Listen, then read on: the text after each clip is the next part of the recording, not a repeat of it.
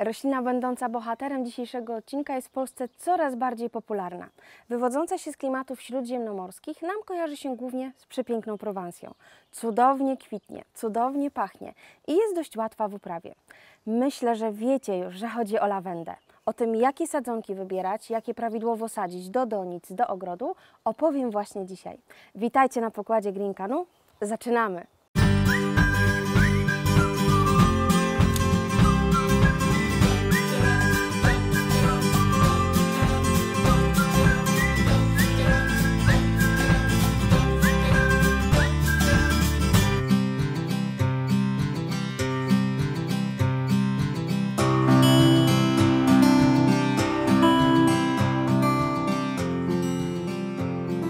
Pada hasło lawenda. Wszyscy widzimy oczyma wyobraźni automatycznie lawendowe pola w Prowansji.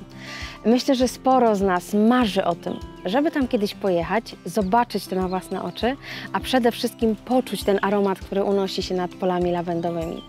Lawenda w Polsce, tak jak Wam mówiłam, od wielu lat jest już rośliną bardzo popularną.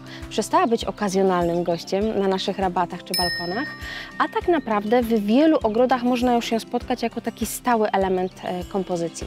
W naszym ogrodzie gości już od wielu lat e, miałam różne przygody z tą rośliną. Raz się lubiliśmy, raz niekoniecznie. Tak naprawdę musiałam się troszeczkę o niej nauczyć, e, żeby później móc no, przyjaźnić się z nią już z takim efektem jak przepiękne kwitnienie. Tymi moimi doświadczeniami dziś się właśnie z Wami podzielę. Opowiem o tym, jak prawidłowo sadzić tę roślinkę do donic, żebyście mogli cieszyć się nią po prostu na Waszych tarasach, balkonach i jak ją posadzić w ogóle i też do jakiej gleby, jeśli chodzi o ogrody. Lawenda ma wiele walorów. Przepiękne kwitnienie to jedno, o tym wiemy wszyscy. Te drobniutkie kwiatuszki, takie fioletowe, błękitne, rozczulają, kojarzą nam się bardzo romantycznie.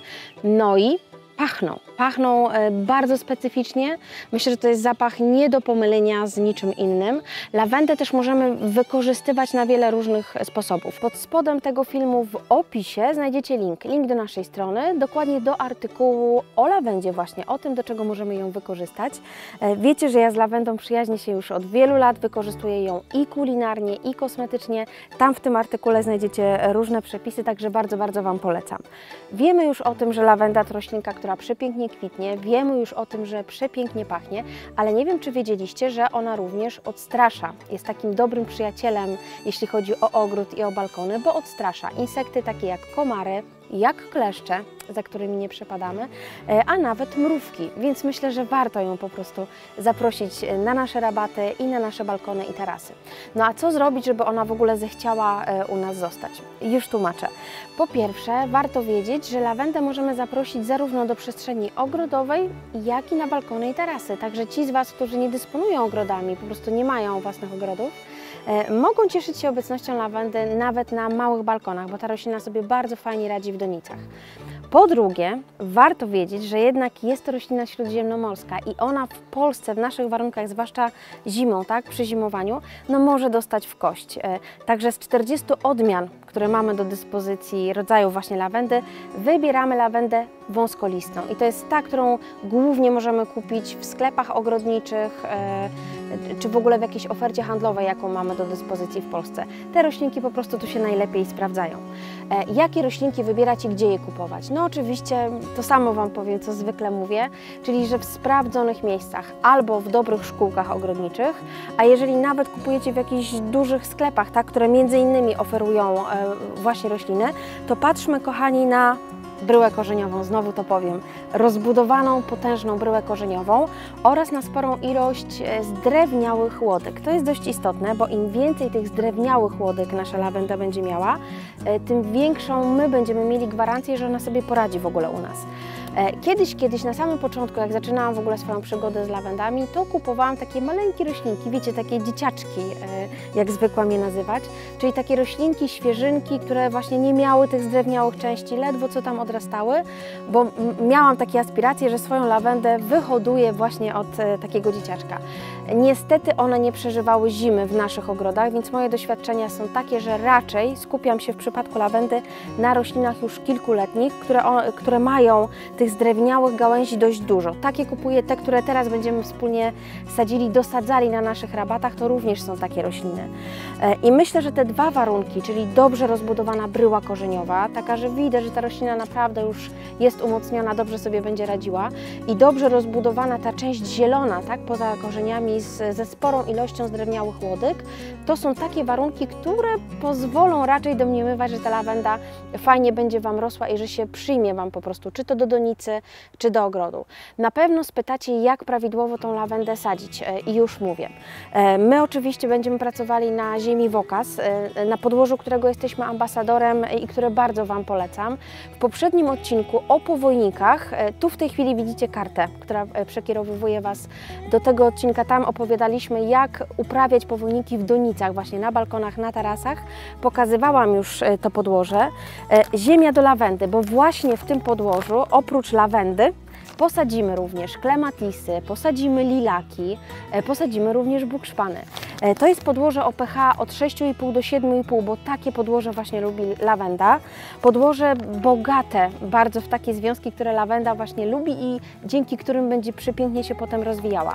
Ja to podłoże stosuję e, i to zarówno do donic, jak i do ogrodu, jak wysadzam lawendę. Wydaje mi się, że w odcinku o roślinach kwaśnolubnych, z tego co pamiętam, pokazywałam Wam akurat inne podłoże, ale właśnie jakie wykorzystuję w ogrodzie. Jeśli mamy rośliny, które na rabatach rosną już któryś tam rok, e, bo ja takie mam, lawendy mam takie, które już z nami są ileś tam czasu, to właśnie wczesną wiosną e, jakby podbieram troszeczkę ziemi wokół tej lawendy i rozsypuję to podłoże, bo tak jak Wam mówiłam, ono jest bogate w składniki odżywcze i pomaga tej mojej roślince fajnie, roślince, roślinkom e, wystartować po prostu, jeśli chodzi o wiosnę. W momencie, kiedy sadzę rośliny, nie tylko kwaśnolubne, ale też właśnie lawendy, czy właśnie powojniki, to to podłoże również używam e, właśnie w takim sadzeniu normalnie do podłoża e, ogrodowego. Właśnie po to, żeby roślina ten start e, miała. Wiele razy Wam mówiłam już o tym na naszym, chyba na Instagramie najczęściej, właśnie żeby tę taktykę stosować. Widzieliście to na tym odcinku o roślinkach kwaśnolubnych, sprawdza nam się ona bardzo, więc e, być może ta informacja Wam się do czegoś przyda. No i jak takie podłoże e, stosujemy? Oczywiście na dół donicy jest zawsze keramzyt, ja za chwileczkę będę to robiła, nie chcę w tej chwili hałasować. E, kładziemy keramzyt, dopiero później roślinkę i dookoła obsypujemy ją naszym podłożem do lawend. Jeżeli będziecie sadzić lawendę w donicy, to pamiętajcie, żeby ona była dość duża, szeroka i głęboka. Lawenda bowiem wytworzy sobie e, no, taki potężny system korzeniowy. Ona musi się e, czuć pewnie i dobrze, żeby tak zrobiła, bo wtedy właśnie przeżyje zimę. Jeżeli myślicie raczej o przestrzeni ogrodowej, to szukamy miejsca, po pierwsze słonecznego. No wiadomo, słuchajcie, już nawet tak logicznie myśląc, rośliny śródziemnomorskie kochają słońce, czyli wystawa południowa, wystawa zachodnia i uwaga, przewiewne miejsce. Oznacza to, że lawenda nie powinna być sadzona w takiej kupie, wiecie, że są za blisko rośliny siebie sadzone. Dlatego, że wtedy no, chętnie przybywają do niej wtedy choroby grzybowe, jeżeli jest właśnie w jakimś skupisku i jeszcze jeżeli ma e, za mokro. To jest roślinka, tak jak większość śródziemnomorskich, która owszem lubi być podlewana, jak wszystkie rośliny na świecie, ale nie za często i nie za mocno. Jeżeli damy jej za dużo wody, w której ona wręcz będzie stała, po prostu, e, że tej wody będzie no, za dużo dzień po dniu, e, to może nam lawenda zachorować, a grzyby to jest e, pierwsza choroba, jaka w ogóle przybędzie. Także nie podlewamy zbyt obficie, raczej systematycznie, a tak po prostu takimi nie za dużymi ilościami. Pozostaje nam jeszcze kwestia przycinania lawendy. Cięcie lawendy jest dość istotnym elementem w tym procesie dbania o nią.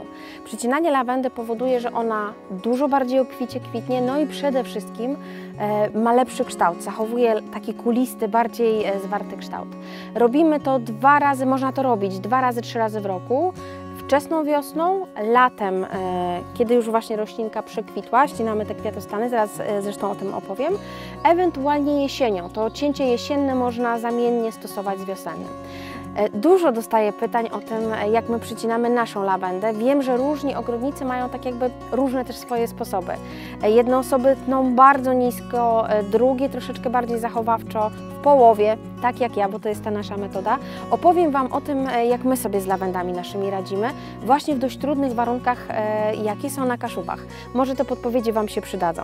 Wiosenne cięcie robimy w połowie pędów niezdrewniałych. E, I ja tnę zawsze lawendę na taką kuleczkę. Już tnąc ją zachowuję, staram się zachować e, kształt kuli.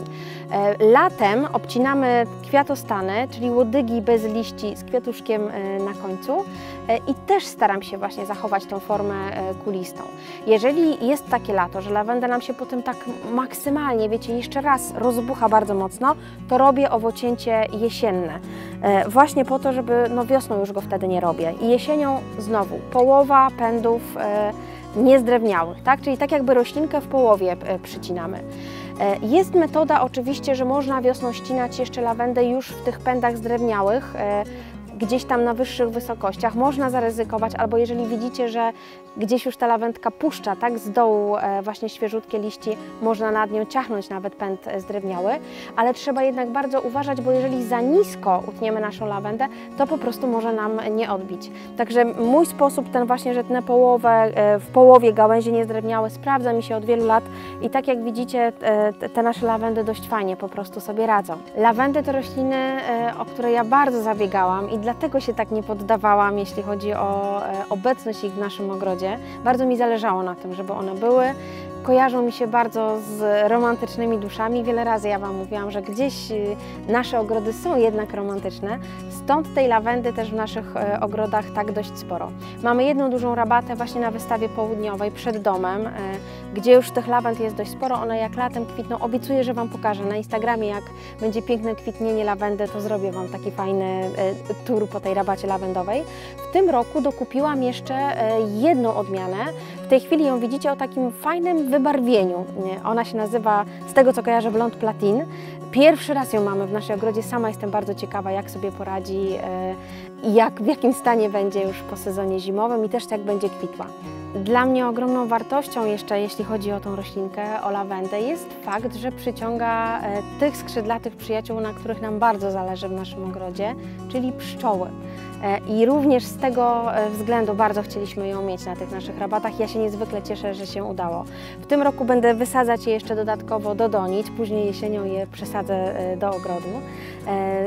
I w ogóle chciałam Was bardzo zachęcić do tego, jeżeli jeszcze do tej pory nie mieliście styczności z lawendą, z różnych względów, bo my się, nie wiem, słyszymy różne rzeczy od e, osób, które na przykład, którym lawenda na przykład po zimie nie przeżyła, że nie warto tej roślinki zapraszać, to mam nadzieję, że po tym odcinku poczujecie się na tyle pewnie, e, że zechcecie jednak spróbować, że zaprosicie lawendę na swój balkon, na taras albo na rabaty, że właśnie nie będzie takim okazjonalnym gościem u Was, a zagości na stałe, tak jak i w naszym ogrodzie.